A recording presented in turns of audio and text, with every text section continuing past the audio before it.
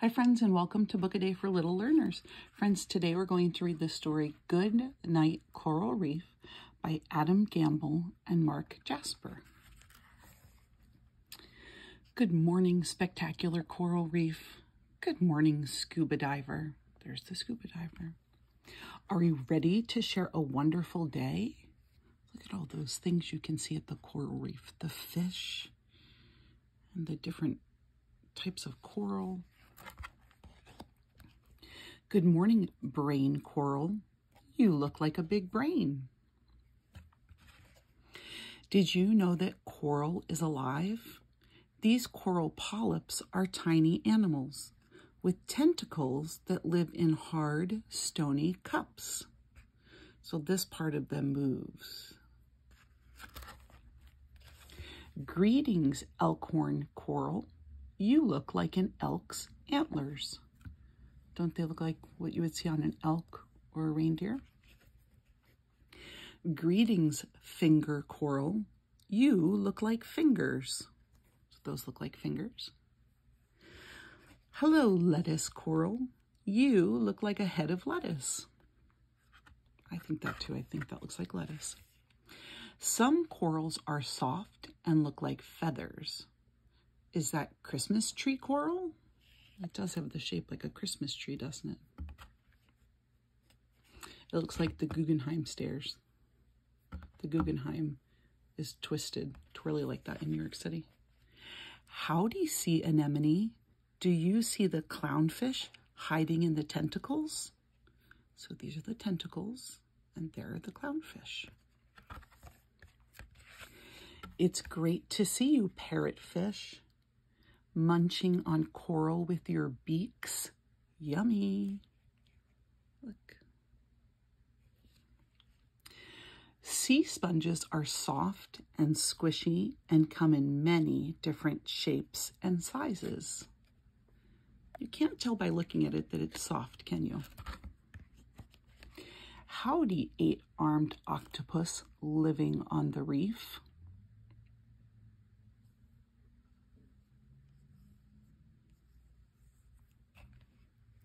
It's great to see you, toothy moray eel, peeking out from your hole. They live in almost like caves, but like you can see his teeth. Good afternoon, snorkelers exploring the reef. Look at that. Sea turtles and fish and corals, so many beautiful things to see. Look with your eyes, but never touch with your hands. So they have a mask, and that's for the for air when they're closer to the surface of the water. And then they have their fins. Have you ever seen a starfish before? These are starfish. How about a sea cucumber? It looks like a cucumber we would grow and eat. Good day, spiny lobster. You don't have claws like your northern cousins.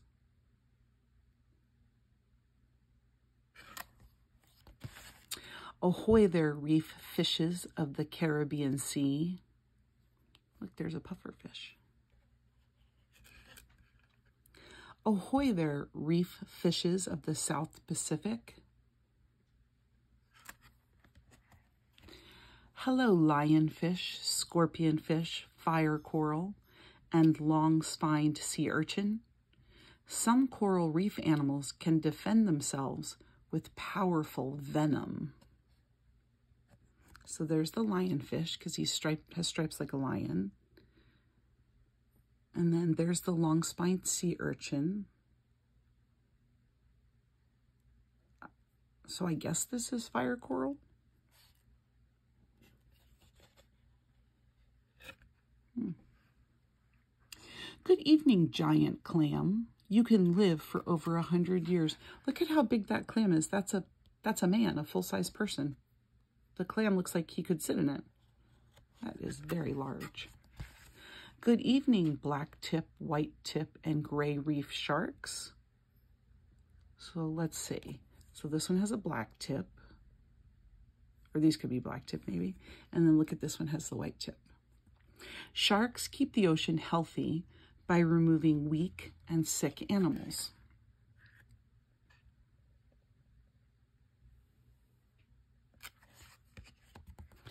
Good night, scuba divers exploring the reef by night. Is that a banded coral shrimp? Look at that. Good night, graceful spotted eagle ray.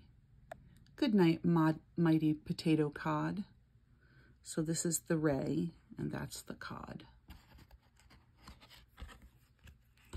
Good night, seahorses, peacefully resting amid the reef. Seahorses, I think, are so cool. The daddy seahorse is the one who carries the eggs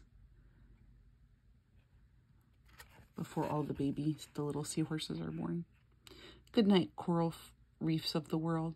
Thank you for sharing a wonderful day. Friends, I hope one day you get to go and visit a coral reef.